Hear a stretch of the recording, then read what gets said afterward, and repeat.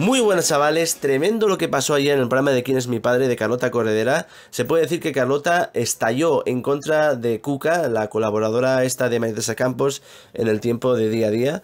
Y todo fue porque Carlota y Kiko Matamoros y la tercera de la Bella y la Bestia querían poner a Ruiz Mateos de, todo lo peor, ¿no? De, de, ser una persona que había dejado muchos hijos por el mundo, de que había robado a todo el mundo, de que incluso se había sobrepasado con mujeres, un montón de cosas que Cuca iba poniendo como caras en plan, ¿qué me estáis contando, no? Y de repente ves que dice, yo trabajé en Rumasa, eh, no sé si había sido jefa de prensa o qué, eh, yo trabajé en Rumasa, y, yo no he vivido nada de lo que estáis diciendo, ni de, los testigos que estás diciendo que saben y conocían los secretos de, de Ruiz Mateos. Eh, llegó a calificar a Ruiz Mateos de persona magnífica y limpia y que la justicia, eh, digamos que declaró inocente a la primera rumasa de todos los cargos que como que habían sido perjudicados por la expropiación del Estado, ¿no? Más que otra cosa.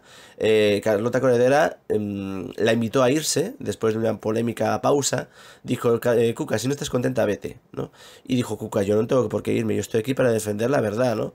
Y Kiko Matamoros siguió atacando, la tetera siguió atacando, Carlota siguió atacando, y Cuca cada vez más ofendida idolatrando la figura de Rui Mateos y todo era muy, muy gracioso, todo hay que decirlo. O sea, Carlota echando espuma por la boca y Cuca hablando con su calma y su tranquilidad, diciendo, no, eh, no es verdad.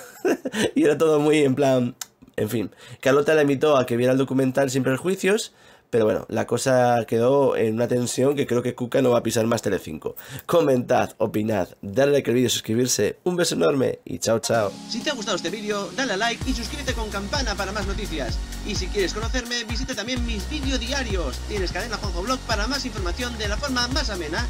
¡Nos vemos!